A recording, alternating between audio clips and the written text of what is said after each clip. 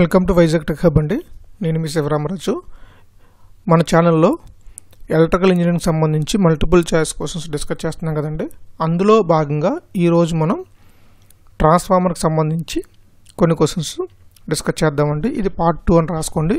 దీని ముందు వీటిలో మనం పార్ట్ వన్ అని చెప్పుకున్నాం పార్ట్ వన్ అని చెప్పి టైటిల్ పెట్టుకోండి. ఈ పార్ట్ టూలో ఒక పది క్వశ్చన్స్ అన్నవి ఇంపార్టెంట్ అంటే మ్యాక్సిమం ఎగ్జామ్లో కవర్ అయ్యే టాపిక్ అనుకోండి. ఆ విధంగా ఇది క్వశ్చన్స్ అనేవి చెప్పడం జరుగుతుంది. ఓకే? ఫస్ట్ క్వశ్చన్కి వెళ్ళిపోదాం ఇంకా ఎవరైనా మా ఛానల్ సబ్స్క్రైబ్ చేయకుండా చూస్తే సబ్స్క్రైబ్ చేయండి. ఫస్ట్ క్వశ్చన్ చూడండి. Transformer fails to operate on DC డీసీలో operate అవ్వదండి. ఎందుకు అంటే చూడండి. Transformer act as an open circuit on DCA DC supply gives very low primary current DC supply has పొలారిటీయా DC supply produces constant and study flex so మనకు already చెప్పుకున్నాం ట్రాన్స్ఫార్మర్కి ఏంటంటే ఎప్పుడైతే winding మనకి రొటేషన్లో లేదో ఫ్లక్స్లో ఖచ్చిత ఫ్లక్స్ అనేది ఖచ్చితంగా మనకి మూవింగ్ పార్ట్ అయి ఉండాలి. సో డీసీ సప్లై అనేది ఏంటంటే మనకి కాన్స్టెంట్ ఫ్లక్స్ అనేది ప్రొడ్యూస్ చేస్తుంది కాబట్టి so transformer fails to operate and DC because అంటే ఇదనమాట దానికి reason DC supply produces constant and study flux అనమాట ఓకే ఇంకోటి ఏంటంటే ట్రాన్స్ఫార్మర్కి డీసీ ఇస్తే అది కాలిపోతుందండి. ఎందుకంటే చూడండి మనకు ఆల్రెడీ తెలుసు. E is equal to L into di by dt కదండి. సో ఇక్కడ డిఐ బై డిటీ అంటే rate of change of current అన్నది ట్రాన్స్ఫార్మర్లో జీరో కాబట్టి ఈ జీరో అయిపోతుంది. అంటే డైరెక్ట్గా షార్ట్ సర్క్యూట్ చేస్తే ఏమవుతుందండి? వైండింగ్ అన్నది కాలిపోతుంది అనమాట సో నెక్స్ట్ క్వశ్చన్ చూడండి CRGO laminations cold rolled grain orientation CRGO అంటే ఏం లేదండి? సి అంటే కోల్డ్ ఆర్ అంటే రోల్డ్ కోల్డ్ రోల్డ్ జీ అంటే గ్రెయిన్ ఓ అంటే ఓరియంటేషన్ సో అది దేనికోసం అంటే చూడండి ఓమిక్ లాసెస్ తగ్గించడం కోసమా? హిస్టోరిసిస్ లాసెస్ తగ్గించడం కోసమా? నెక్స్ట్ సి ఆప్షన్ సిలో ఎడ్డీ కరెంట్ లాస్ తగ్గించడం కోసమా? D both B and C మీకు ఆల్రెడీ చెప్పానండి. లామినేషన్స్ లామినేషన్స్ అనేవి ఎడ్డీ కరెంట్ లాస్కి next silicon steel or CRGO steel. CRGO steel or silicon steel. దేనికోసం అంటే హిస్టరిసిస్ లాస్ తగ్గించడం కోసం. సో మీరు ఎడ్డీ కరెంట్ లాస్తో కన్ఫ్యూజ్ అవ్వద్దు. ఎడ్డీ కరెంట్ లాస్ అంటే ఖచ్చితంగా మనకి లామినేషన్స్ సో రెండోది option B is right answer. మూడో క్వశ్చన్ చూడండి. Tap changing is provided to dash winding tap మనకి ట్రాన్స్ఫార్మర్లో ట్యాప్ చేంజర్లు ఉంటాయండి. అది రెండు రకాలు ఉంటాయి. ఓఎల్టీసీ అంటారు. ఆన్లోడ్ ట్యాప్ చేంజర్ ఉంటుంది. Next off load tap changer ఉంటుంది. అంటే ఆఫ్లోడ్ ట్యాప్ చేంజర్ అంటే ఏంటంటే ట్రాన్స్ఫార్మర్ మీద ఎటువంటి లోడ్ వేయకుండా ట్యాప్ చేంజింగ్ చేస్తారు. అది ఓఎల్టీసీ ఆన్లో ట్యాప్ చేంజర్ అంటే ట్రాన్స్ఫార్మర్ రన్నింగ్లో ఉండగానే అంటే ట్రాన్స్ఫార్మర్ మీద లోడ్ ఉన్నా కానీ మనకి అక్కడ ట్యాప్ చేంజింగ్ అనేది చేయొచ్చు. సో అది జనరల్గా ట్యాప్ చేంజ్లో ఏ వైండింగ్ కనెక్ట్ అయి ఉంటుందని అడిగారండి. మీకు ఆల్రెడీ చెప్ మనం ఆల్రెడీ చెప్పుకున్నాము. హెచ్వి వైండింగ్ సైడు కరెంట్ అన్నది తక్కువ ఉంటుంది. అలాగే ఎల్వి వైండింగ్ సైడు కరెంట్ అన్నది ఎక్కువ ఉంటుంది. సో ట్యాప్ చేంజింగ్ ప్రొవిజన్కి మనకి లో కరెంట్ దగ్గర అయితే మనకి ఈజీగా ఉంటుంది. ప్లస్ హెచ్వి వైండింగ్ కాబట్టి మనకి హై వోల్టేజ్ కాబట్టి వోల్టేజ్ వేరియేషన్ అన్నది చాలా వేరియేషన్ అనేది చాలా స్మూత్గా ఉంటుందన్నమాట. ఓకే? సో దానివల్ల రీజన్ ఏంటంటే మనకి ట్యాప్ చేంజర్ అన్నది మనకి హై వోల్టేజ్ సైడ్ మనకి కనెక్ట్ చేసి ఉంచుతారండి so high voltage side tap changer అనేది కనెక్ట్ చేస్తారు. ఎందుకంటే హై వోల్టేజ్ సైడ్ కరెంట్ తక్కువ ఉంటుంది కాబట్టి మనకి ట్యాప్ చేంజింగ్ చేసినప్పుడు కరెంట్ ఎక్కువ ఉన్న దగ్గర ట్యాప్ చేంజ్ చేయాలంటే హెవీ కరెంట్లో చాలా కష్టమవుతుంది. సో కరెంట్ లోగా ఉన్నప్పుడు ట్యాప్ చేంజింగ్ చేయడం ఈజీ.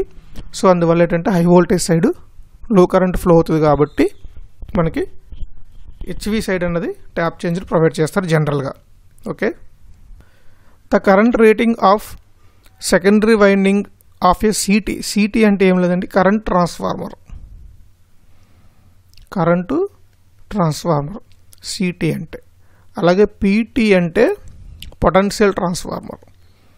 ఈ ఎందుకు వాడతారంటే సిటీపీటీ అన్నది ఒకటి ఏంటంటే మెజర్మెంట్ ఎంఎం అంటే మెజర్మెంట్ పర్పస్ కోసం ఫుల్గా రాసుకోండి మీరు. రెండోది చాలా ఇంపార్టెంట్ ప్రొటెక్షన్ ఎందుకంటే మెజర్మెంట్ పర్పస్ దేనికండి? మనకి for example two twenty KV ఉంది. టూ ట్వంటీ కిలో వోల్ట్ మనం మెజర్ చేయాలంటే అంత రేటింగ్ గల వోల్టీమీటర్ చాలా పెద్దదైపోతుంది. దాన్ని మనం ఏం చేస్తామంటే పొటెన్షియల్ ట్రాన్స్ఫార్మర్ పీటీ పీటీ నుంచి దీన్ని వన్ టెన్ వోల్ట్స్కి మార్చుకుంటాం. పీటీ అవుట్పుట్ ఎప్పుడు కూడా వన్ టెన్ వోల్ట్స్ ఉంటుంది. సో వన్ టెన్ వోల్ట్స్కి మార్చుకుని వన్ టెన్ వోల్ట్స్కి మనం స్టెప్ డౌన్ చేస్తాం. పొటెన్షియల్ ట్రాన్స్ఫార్మర్లో ఏమవుతుందంటే వోల్టేజ్ అన్నది స్టెప్ డౌన్ అవుతుంది. ఎప్పుడైతే వోల్టేజ్ తగ్గిందో వన్ టెన్ వోల్ట్స్కి మనం ఈజీగా వోల్టేజ్ మెజర్ చేయొచ్చు. అలాగే ఈ వన్ టెన్ వోల్ట్స్ కూడా ప్రొటెక్షన్లో మనం వాడతాం.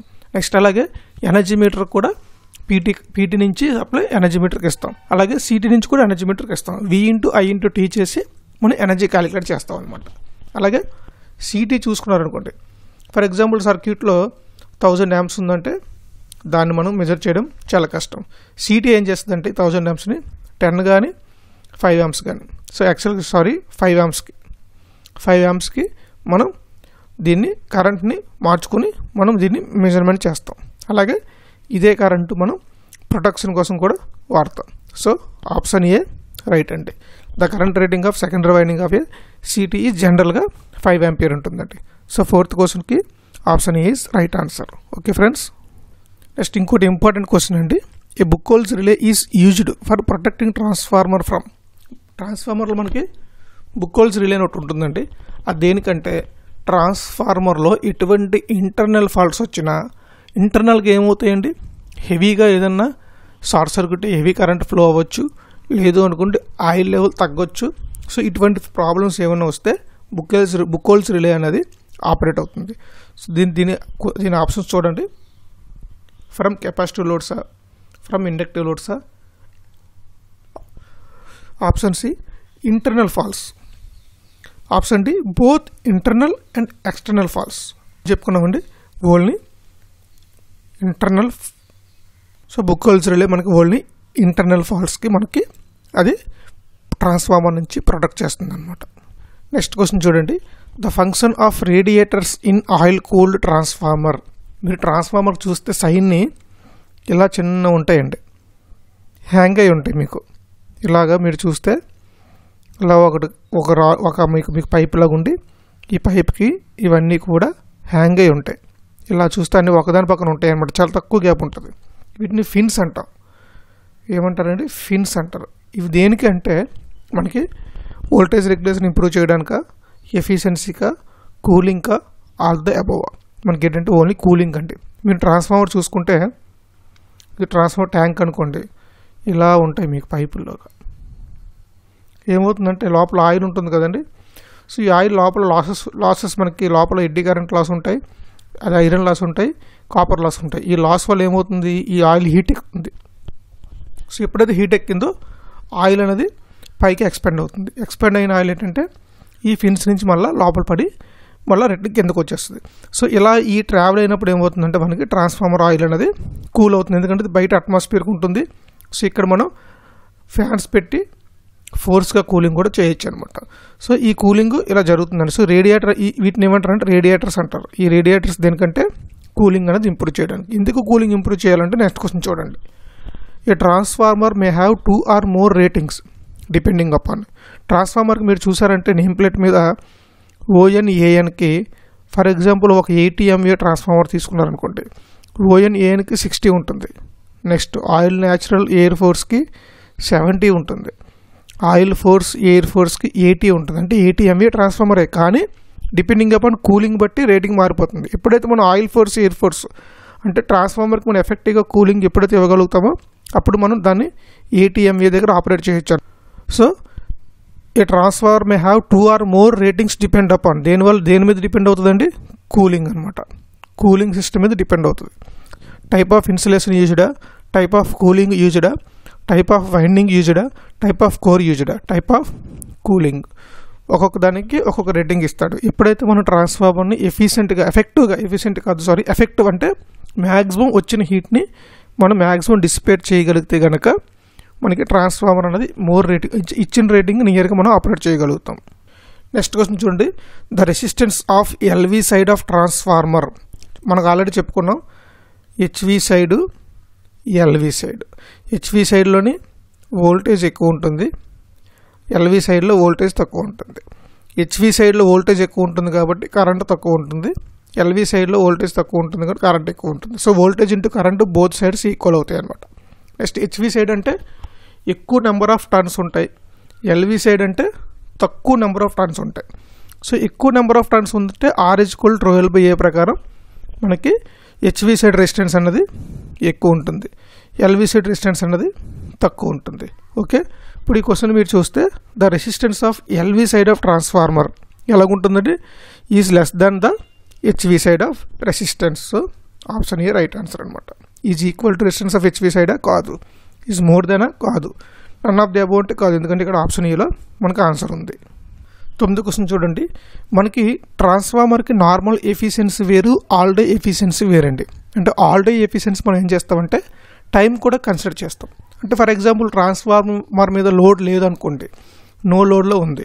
అంటే ఒక రోజులో ట్రాన్స్ఫార్మర్ ఎలా ఉంటుందంటే ఒక ఎయిట్ అవర్స్ లోడ్ తక్కువ ఉండొచ్చు ఒక ఫోర్ అవర్స్ చాలా ఎక్కువ లోడ్ ఉండొచ్చు ఒక టూ అవర్స్ తక్కువ లోడ్ ఉండొచ్చు ఆ లోడ్ అనేది వేరే అయిపోతూ ఉంటుంది. కానీ మీకు లోడ్ ఉంది అంటే అందులో ఖచ్చితంగా కాపర్ లాస్ ఉంటాయి ప్లస్ కోర్ లాస్ కూడా ఉంటాయి. For example load zero load is equal to zero.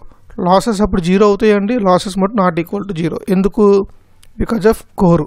కోర్లో మట్టుకు లోడ్ కోర్ లాస్ అనేవి కాన్స్టెంట్ లాస్. అవి లోడ్ ఉన్నా లోడ్ లేకపోయినా ఒకలాగా ఉంటాయి.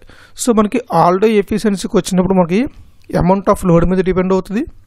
అలాగే ఎంత టైం మనం లోడ్ చేసామో దాని మీద కూడా డిపెండ్ అవుతుందండి. So all day efficiency of transformer is depends upon both A and B అనమాట నెక్స్ట్ పదే క్వశ్చన్ చూడండి. Which of the following transformer ఈ స్మాలెస్ట్ సైజ్ సో ఈ క్వశ్చన్ ఆన్సర్ చూసే ముందు ఒక ఈక్వేషన్ చూడండి.